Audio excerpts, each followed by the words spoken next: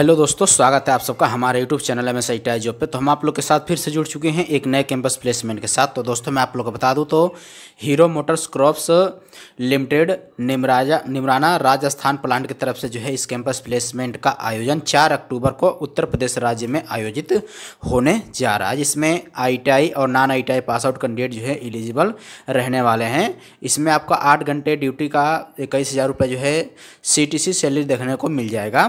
तो hero Motors crops का जो है ये पहला कैंपस इस महीने में जो है लगने जा रहा है तो जो भी उम्मीदवार आईटीआई पास आउट है या बारहवीं पास आउट है, दोनों लोग जो है इस कैंपस प्लेसमेंट के लिए एलिजिबल रहने वाले हैं। निमराना राजस्थान में आप सबका जो है जॉब लोकेशंस रहने वाला है।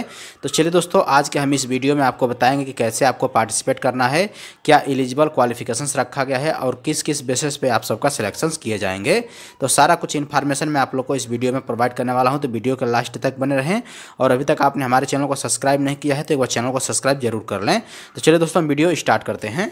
तो दोस्तों, आप सब देख सकते हैं राजकीय औद्योगिक प्रशिक्षण संस्थान कन्नौज, उत्तर प्रदेश में जो है हीरो मोटर्स क्रॉप्स के माध्यम से इस कैंपस प्लेसमेंट का आयोजन किए जा रहे हैं, जिसका पूरा एड्रेस मैं आप लोग को बता दूँ तो राजकीय ITI college Chhibramau Kannauj स्थित ग्राम रसूलाबाद पोस्ट, तालग्राम में जो है चार अक्टूबर को दिन बुधवार सुबह दस बजे से इस कैंपस प्लेसमेंट का आयोजन किए जाने हैं, जिसमें 18 से लेकर 24 साल तक के जो है कैंडिडेट एलिजिबल रहेंगे। आईटीआई ट्रेड की बात करें तो fitter welder electrician machinist turner diesel mechanic physician instrument mechanic और जो है electronics mechanics wireman M COPA stenographers और साथ ही साथ डी एम से आईटीआई पास आउट जो है कैंडिडेट इसमें एलिजिबल रहने वाले हैं। आल ट्रेड के कैंडिडेट जो है केवल फीमेल्स कैंडिडेट ही इसमें एलिजिबल रहने वाली हैं। तो जो भी कैंडिडेट इसमें पार्टिसिपेट करेंगे, उनमें जो है फीमेल्स को ही केवल लिया जाएगा। तो फीमेल्स कैंडिडेट ही इसमें पार्टिसिपेट करें। आईटीआई और नॉन आईटीआई होल्डर जो है बारह, दसवीं और बारहवीं पास आउट दो हज़ार इक्कीस से लेकर दो हज़ार तेईस तक के बैच के कैंडिडेट इसमें एलिजिबल रहने वाले हैं। अगर आप बारहवीं पास आउट हैं या आईटीआई पास आउट है, दोनों के लिए भर्ती रहेगी। लेकिन आपका तीन ईयर्स के कैंडिडेट दिए जाएँगे, इक्कीस, बाईस और तेईस के आईटीआई पास आउट और बारहवीं पास आउट तो एफ़ टी ए और अप्रेंटिसशिप बेसिस पर आपको सिलेक्शन किए जाएँगे। अट्ठारह हज़ार सत्तासी रुपये जो है सी टी सी चली रहेगी जो पंद्रह हज़ार पाँच सौ रुपये पंद्रह हज़ार पचपन रुपये जो है आपका एफ़ टी सी पे मिलेगा और अप्रेंटिसशिप पे चौदह हज़ार सात सौ रुपये सी टी सी रहेगा।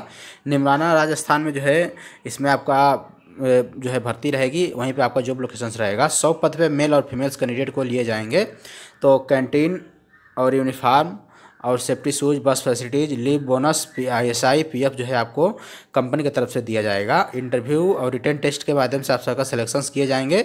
जो भी कैंडिडेट अप्रेंटिसशिप पे जो है पार्टिसिपेट करेंगे अप्रेंटिसशिप करना चाहेंगे, उनको जो है अप्रेंटिसशिप पोर्टल पर रजिस्ट्रेशन होना चाहिए। उसके बाद ही आपका जो है सिलेक्शन इसमें होगा।